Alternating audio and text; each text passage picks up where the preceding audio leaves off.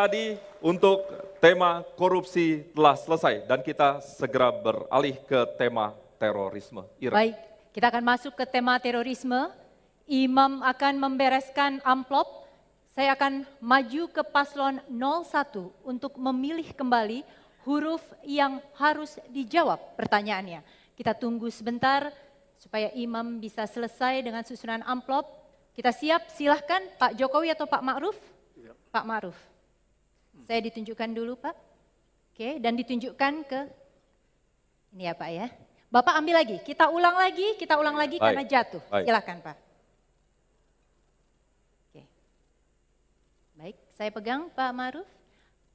Angka, maksud saya huruf yang sama yaitu adalah B. B. Huruf B. Saya ambil, masih tersegel,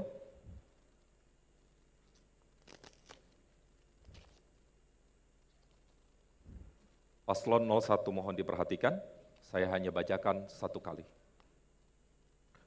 Pemberantasan terhadap terorisme sering kali berbenturan dengan isu hak azasi manusia.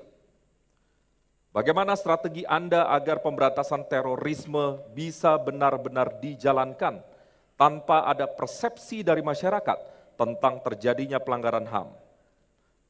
Harap jawab dapat merujuk pada kasus-kasus yang konkret agar dapat secara jelas menggambarkan permasalahan yang dihadapi.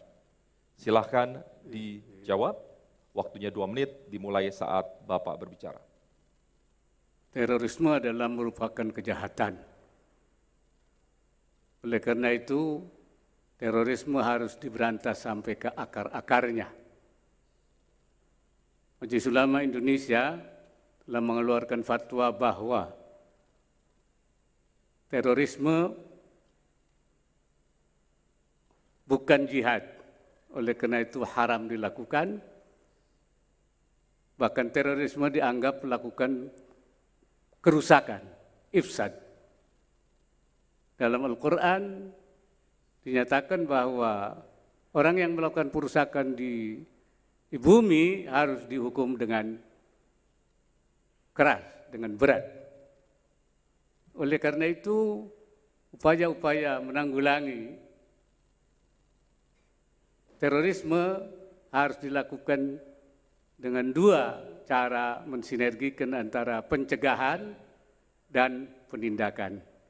Ke depan kami lebih mengutamakan pencegahan melalui kontraradikalisme untuk menghilangkan atau menekan paham-paham radikal dan intoleran dan melalui deradikalisasi untuk mengembalikan mereka yang sudah terpapar.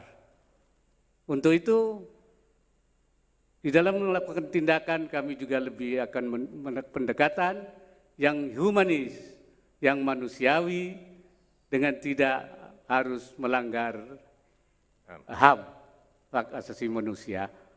Untuk itu dalam menanggulangi terorisme di masa yang akan datang, kami akan mengajak ormas-ormas organisasi masyarakat, khususnya organisasi keagamaan. Saya melihat bahwa aparat harus Pak diberi pengetahuan mengenai HAM. Waktunya habis, waktunya Pak, habis Pak Jokowi. Selanjutnya, Paslon 02, silakan menanggapi waktunya satu menit.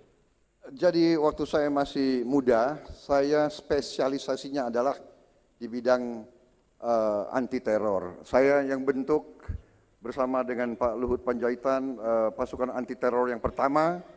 Jadi saya uh, mengerti, saya paham. Masalahnya adalah karena pengalaman saya itu, saya mengetahui bahwa sering kali terorisme ini adalah uh, dikirim dari negara lain dan sering juga dibuat nyamar. Seolah teroris itu dari orang Islam. Padahal itu sebetulnya di, di ya dia itu bukan dikendalikan oleh orang yang mungkin juga bukan orang Islam.